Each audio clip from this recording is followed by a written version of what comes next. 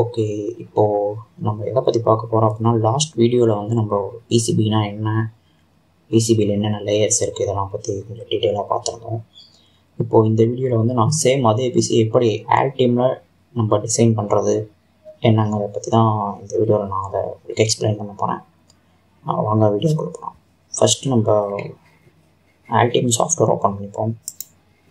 இதுதான் ஆல்டிம் சாஃப்ட்வேர் இதில் போயிட்டு நீங்கள் ஃபஸ்ட்டு ஒரு தனி நியூ ப்ராஜெக்ட் ஒன்று ஓப்பன் பண்ணிக்கங்க நான் பண்ணுற மாதிரி எல்லாமே.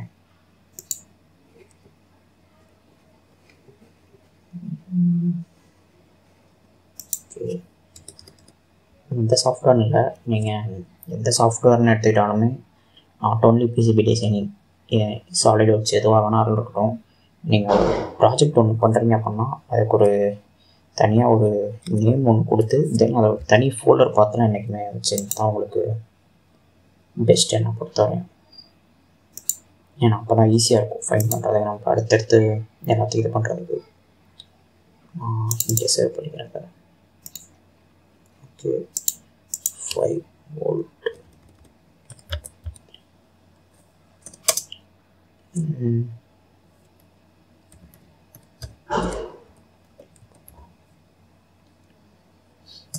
okay okay friends இந்த பிசிபியோட பர்பஸ் என்ன நான் ஆல்ரெடி உங்களுக்கு ப்ரீவியஸ் வீடியோ சொல்லியிருப்பேன்.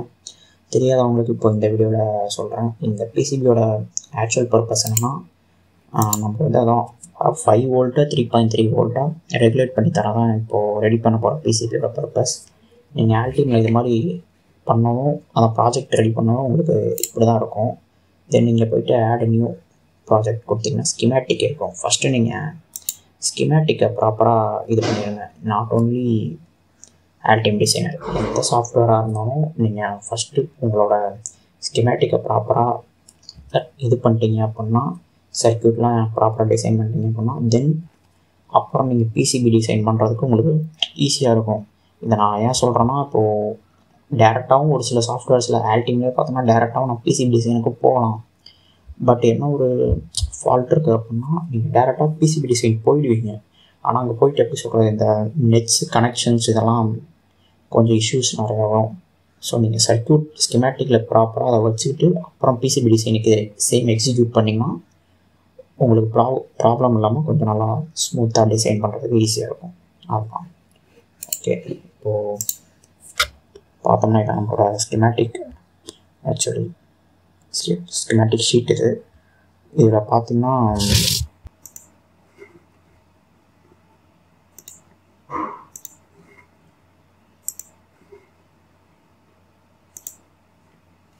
இங்கே பார்த்தீங்கன்னா கீழே பேனல் சென்ட் இருக்கா? இதில் போய் கிளிக் பண்ணணும் கிளிக் பண்ணவும் நம்மளோட என்ன வேணுங்கிறத ஃபர்ஸ்ட் ஆஃப் ஆல் அங்கேருந்து நம்ம எடுக்கணும். இப்போ எக்ஸாம்பிளுக்கு சொல்ல போனால் ஆல்டிஎம் லைப்ரரிஸில் டிஃபால்ட்டாக காம்பனன்ட்ஸ்லாம் இருக்கும். சப்போஸ் ஒரு சில காம்பனன்ட்ஸ்லாம் கிடைக்காத பட்சத்துக்கு நம்ம இந்த மேனுஃபேக்சரர் பார்ட் சர்ச்சுங்க அதெல்லாம் போய் எடுக்கணும். அப்படி இல்லைனா இதுலேயும் கிடைக்கல உங்களுக்கு அப்படின்னா easy may sorry SnapMagic and DigiKey or Ultra Librarian இது மாதிரி இதில் போயிட்டு நீங்கள் அதை எடுத்துக்கலாம். ஸ்கிமேட்டிக்கோட ஃபுட் பிரிண்ட்டோட கிடைக்கும் உங்களுக்கு. சர்க்கியூட் சிம்பிள் அதான் சாரி அந்த காம்பனன்ட் சிம்பிள் ப்ளஸ் உங்களுக்கு அந்த ஃபுட் பிரிண்ட் ரெண்டுமே சேர்த்து கிடைக்கும். ஃபஸ்ட்டு நான் இதில் போகிறேன் மேனுஃபேக்சர் ஆஃப் சைஸ் இதில் போனோம்னா இப்போது ஃபஸ்ட்டு நான் டைப் பண்ணுற சேம் இதே இந்த பார்ட் நம்பர் இதெல்லாமே நான் உங்களுக்கு ஆனால் வீடியோ கீழே டிஸ்கிரிப்ஷனில் பிஓஎம்மாக கொடுத்துறேன் உங்களுக்கு ஈஸியாக ப்ராக்டிஸ் பண்ணுறதுக்கு ஈஸியாக இருக்கும். பார்த்தீங்கன்னா ஜீரோ பி இது என்னென்னா இது ஒரு ஆர்எம்சி கனெக்டர் தான். எஸ்எம்டி ஆர்எம்சி கனெக்டர் இது எதுக்குன்னு பார்த்தோம்னா ஜஸ்ட்டு நம்ம தான் நம்மளோட இந்த சைடு இப்போ ஒரு பேட்டரி கொடுக்குறோம் அப்படின்னா இன்புட்டில் ஒரு ஆரம்பிச்சு அவுட்புட் சைடு ஒரு ஆரம்பிச்சு நீங்கள் இந்த பக்கம் கொடுக்குற பேட்ரி பவராக இருக்கிறத அந்த பக்கம் அவன் ரெகுலேட் ஆகி த்ரீ பாயிண்ட் த்ரீ வோல்ட்டாக போகும். அந்த இன்னொரு ஆரம்பிச்சு வழியாக ஃபைவ் வோல்ட்டாக போகிறது த்ரீ பாயிண்ட் த்ரீ ஆகும். இது வந்து நம்ம ரெண்டு எடுத்துக்கணும் சொல்லி. இது மாதிரி நீங்கள் உங்கள் காம்பனண்ட்டை பார்ட் நம்பரை போட்டு ரைட் கிளிக் பண்ணி பிளேஸுங்கிறத கிளிக் பண்ணிங்கன்னா இந்த மாதிரி உங்களுக்கு வந்துடும் இது மாதிரி உங்களுக்கு வந்துடும் தென் இதை வந்து நீங்கள் டேரக்ஷன் மாத்திரம் அப்படின்னா அதுக்கு வந்து எக்ஸ் கீ இந்த கீபோர்டில் எக்ஸை ப்ரெஸ் பண்ணிங்கன்னா இதாகும் அதே இதை மேலே அதாவது டாப் டு பாட்டம் இது மாதிரி பண்ணணும் அப்படின்னா ஒய் ப்ரெஸ் பண்ணுங்கள் இப்போ நான் வந்து இந்த சைடு ஒன்று எடுத்துக்கிறேன். தென் அவுட்புட் சைடுக்கு இதை எடுத்துக்கிறேன். ஓகே தென் இதை கேன்சல் பண்ணோம் அப்படின்னா ரைட் கிளிக் கொடுத்துருங்க. ஆட்டோமேட்டிக்காக போயிடும். ஓகே அவ்வளோதான் ஓகே ஒன்று தென் அடுத்து நமக்கு தேவையான கெப்பாசிட்டர் இருக்கும் கெப்பாசிட்டர் வந்து இதுக்கு நான் ஒரு ஒன் மைக்ரோஃபேட் கெப்பாசிட்டர் தான் யூஸ் பண்ணலான் இருக்கேன். ஆக்சுவலி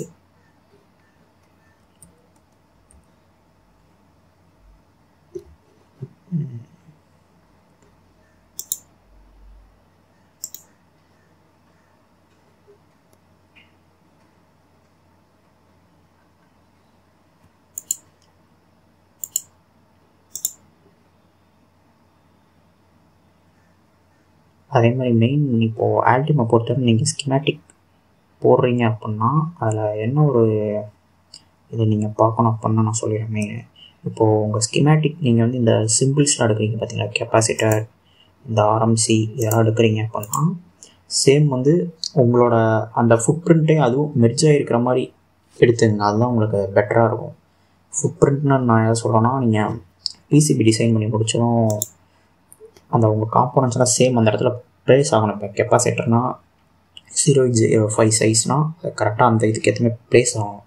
சப்போஸ் பெருசாகிடுச்சினாலும் சின்னதாகிடுச்சினாலும் ப்ளேஸ் ஆகாமல் கூட போகலாம். ப்ளேஸ் ஆகாது மேக்ஸிமம் அப்புறம் உங்களுக்கு தான் இது லாஸ் தென் இப்போ நம்ம அடுத்து என்ன பண்ணோம்னா நம்ம வோல்டேஜ் ரெகுலேட்டர் எடுத்துருப்போம் இதுதான் நமக்கு ஃபைவ் வோல்ட்டை த்ரீ பாயிண்ட் த்ரீ வோல்ட்டாக கன்வெர்ட் பண்ணி தரப்போகுது.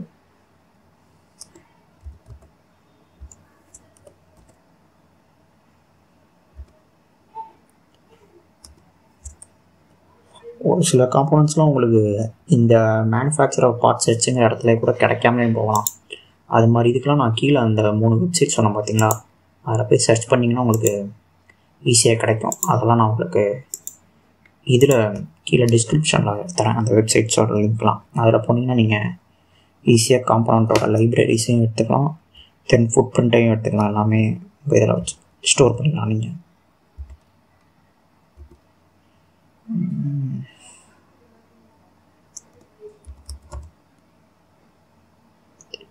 த்ரீ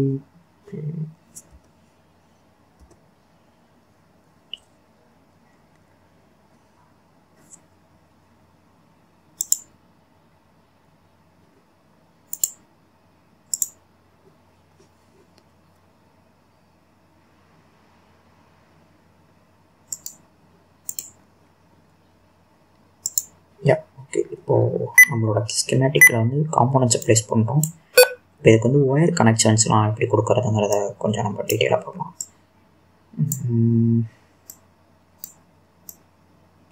ஓகே ஃபஸ்ட்டு எல்லாத்தையும் ப்ராப்பராக லைன் பண்ணிக்கிறேன். சைடில் தென் ஓகே இப்போ இதில் வந்து எப்படி நம்ம ஒயர்ஸை கனெக்ட் பண்ணோம் அப்படின்னா கண்ட்ரோல் டபிள்யூ கொடுத்தீங்கன்னா ஷார்ட்கட் கீ அது. அப்படி இல்லை அப்படின்னா இங்கே மேலே பார்த்தீங்கன்னா தெரியும். சாரி இந்த ஒயர்ஸ் இருக்குது பார்த்தீங்களா இதை கிளிக் பண்ணிங்கன்னா உங்களுக்கு கிடைக்கும். அப்படி இல்லை எனக்கு வேறு லைன்ஸ் இதுமா ஃபஸ்ட்டு இதோட பின் ஒன்லேருந்து கெப்பாசிட்டரோட பாசிட்டிவ் கொடுத்துட்றேன் அதே மாதிரி பின் டூவிலேருந்து ஆக்சுவலி இதான் கிரவுண்டுக்கு வரணும். இங்கேருந்து டைரெக்டாக அதை நான் கிரவுண்ட் பண்ணிக்கிறேன். ஏன்னா இதுதான் லாஸ்ட் அந்த சைடு வரை நமக்கு தேவை. இந்த.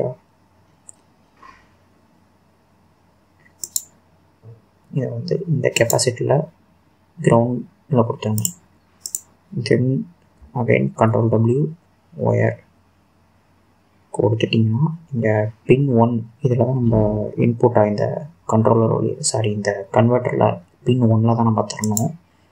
அங்கேருந்து டேரெக்டாக கெப்பாசிட்டரோட போட்டு கொடுத்துருங்க ஓகே அதாவது பாசிட்டிவ் சைட் கெப்பாசிட்டரோட பாசிட்டிவில் இன்புட்டை கொடுத்துருங்க கிரவுண்டுங்கிறது இந்த செகண்ட் பின் எடுத்து நேரமாக கெப்பாசிட்டரோட கிரவுண்டில் கனெக்ட் பண்ணிடுங்க இந்த மாதிரி எக்ஸஸாக லைனை வந்து என்ன பண்ணோம்னா அதுங்களே உங்களுக்கு கிளிக் பண்ணிங்கன்னா ரெட் கலரில் உங்களுக்கு மாறிடும். டெலிட் கொடுத்தீங்கன்னா ரிமூவ் ஆகிடும் அவ்வளோதான் தென் சேம் இப்போ அவுட்புட்லேருந்து சேம் கெப்பாசிட்டர் ரெகுலேட்டரோட அவுட்புட்லேருந்து கெப்பாசிட்டரோட பாசிட்டிவ் அதே மாதிரி சேம் இதே கிரவுண்ட் எடுத்து கெப்பாசிட்டரோட கிரவுண்டுக்கு கொடுத்துருங்க. இது மாதிரி இருக்கிறது கொஞ்சம் ஓகே அட்ஜஸ்ட் பண்ணிட்டு தென் இதோட பாசிட்டிவ் எடுத்து அதே மாதிரி இதில் உள்ள அவுட்புட் அந்த டூ ஆர்எம்சியோட ஃபஸ்ட்டு பின்னில் கொடுத்துருங்க. ரவுண்ட் எடுத்து சேம் அதே மாதிரி.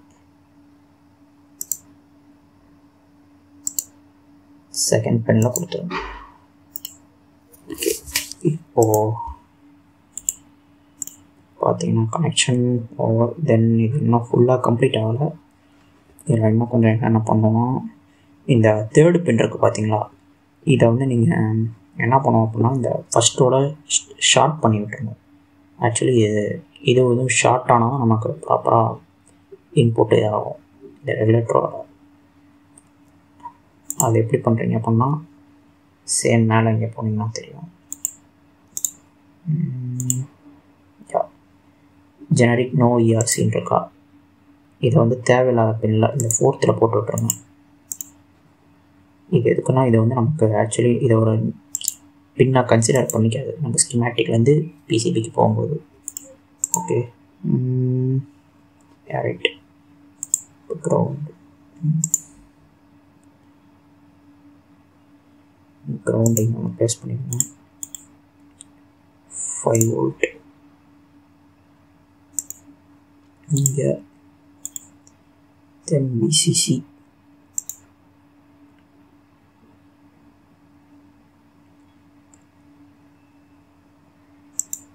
three point three volt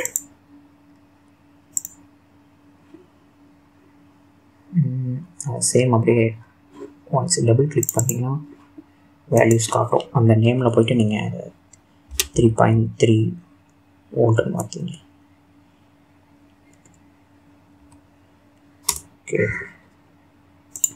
And control W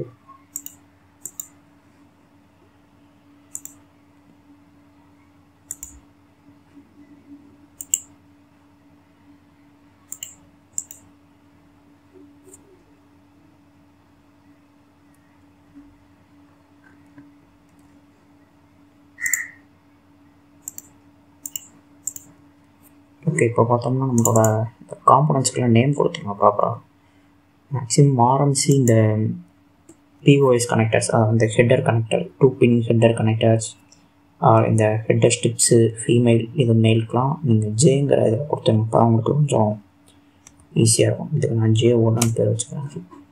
J one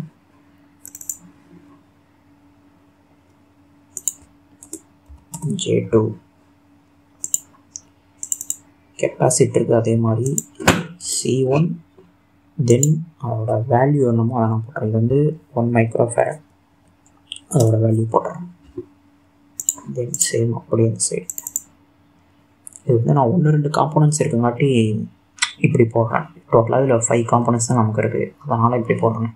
அதே உங்களுக்கு லாட் ஆஃப் காம்போனன்ட்ஸ் இருந்ததுன்னா அது வந்து நீங்கள் எப்போனா இங்கே மேலே ஓகே இப்போது அதான் நீங்கள் வந்து இது ஒவ்வொன்றா ஜே ஒன் ஜே டூ அப்படி டைப் பண்ணுறதுனா உங்களுக்கு அது கொஞ்சம் பெருசு. ஏன்னா நீங்கள் இப்போ ஒரு இது வந்து சின்ன ஒரு ப்ராஜெக்ட் ஒரு ஃபைவ் காம்பனண்ட் தான் இருக்குது இந்த பிசிபிலாம் இதே ஒரு ஃபார்ட்டி காம்பனண்ட்ஸ் ஃபிஃப்டி இது மாதிரிலாம் இருந்தாங்கன்னா நீங்கள் ஒவ்வொன்றுக்கும் டைப் பண்ணிட்டுலாம் இருக்க முடியாது. அதுக்கு வந்து ஒரு சிம்பிள் ஷார்ட்கட் என்னென்னா இங்கே டூல்ஸ் போயிட்டு அனடேஷன் போங்க. அனடேஷன் ஸ்கிமேட்டிக் இது இருக்கா? இதில் வந்து அப்டேட் சேஞ்சஸ்னு கொடுத்தீங்கன்னா இப்போது அதான் நான் ஆல்ரெடி மூணு இது டைப் பண்ணி வச்சுருக்கேன். எனக்கு அதான் ரெண்டு இது மாற்றணும் அப்படின்னு அது கேட்குது நான் தான் ஓகே கொடுப்பேன் இப்போ பார்த்தீங்கன்னா இந்த டிசைனேட்டர் எல்லாமே மாறிடுச்சு அதோட நேமுக்கு அதுக்கப்புறம் கீழே அப்செட் சேஞ்சஸ் கொடுத்துட்டு எக்ஸிக்யூட் சேஞ்சஸ் கொடுத்தீங்கன்னா நம்மளோட நேம் எல்லாமே மாறிடும். தென் க்ளோஸ் பண்ணிங்க. க்ளோஸ் பண்ணால் இப்போ பார்த்தீங்கன்னா நமக்கு ப்ராப்பராக வந்துடுச்சு தென் இப்போது ரிமைனிங் இருக்கிற இந்த கேபிள்ஸையும் டிஆர்சி பண்ணிக்கிறேன்.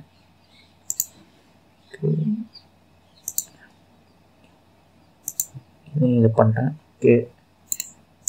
இப்போது அவ்வளோ ஸ்கெமேட்டிக் ஓவர் தென் ஒரு சின்ன லைன் மாதிரி ஒன்று போட்டுக்கிறேன்.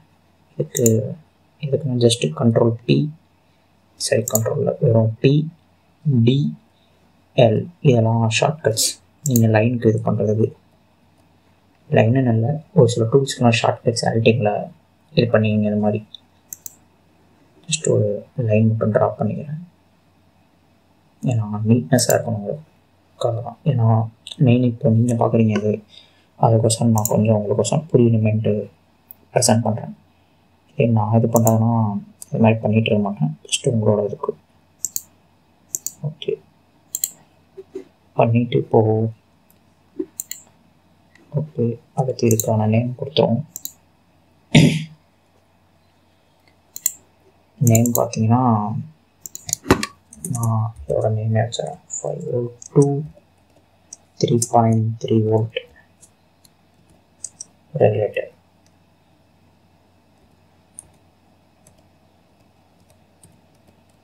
regulator okay இதோட சைஸ் வந்து ஒரு டுவெண்ட்டி ஃபோரில் வச்சுருக்கேன் தென் கலர் வந்து ப்ரௌன் கொடுத்துருக்கேன் ஜஸ்ட் ஒரு ஐடென்டிஃபிகேஷனுக்காக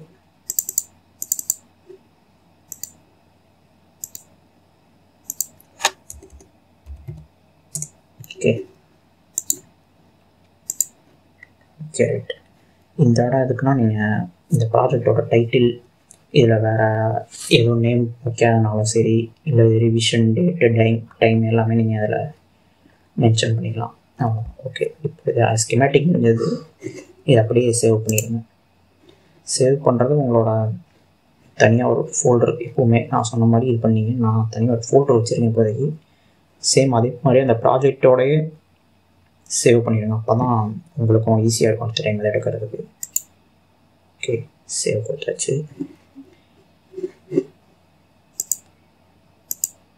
ஓகே இப்போ நான் பேர் என்ன கொடுக்கல ஜஸ்ட் அதனால் ஷீட் ஒன்றுனே தான் இருக்கும்.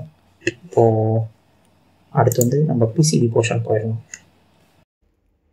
ஓகே ஃப்ரெண்ட்ஸ் பிசிபி டிசைன் வந்து நம்ம நெக்ஸ்ட் வீடியோவில் பார்ப்போம். ஏன்னா இந்த வீடியோவோட லென்த் வந்து ரொம்ப அதிகமாகிடுச்சு ஆல்ரெடி ஒன்றா ஒன் ஹவர் ரெக்கார்ட் இருக்குது ஸோ வீடியோவோட லென்த் அதிகமாக போன காரணத்தினால நான் அதை பார்ட் டூ ரெண்டாவது வீடியோவாக உங்களுக்கு போடுறேன். இல்லைனா பார்க்குறவங்களுக்கும் போர் அடிச்சிடும் இன்ட்ரெஸ்ட் இருக்காமல் போயிடும் அதுக்கு தான்.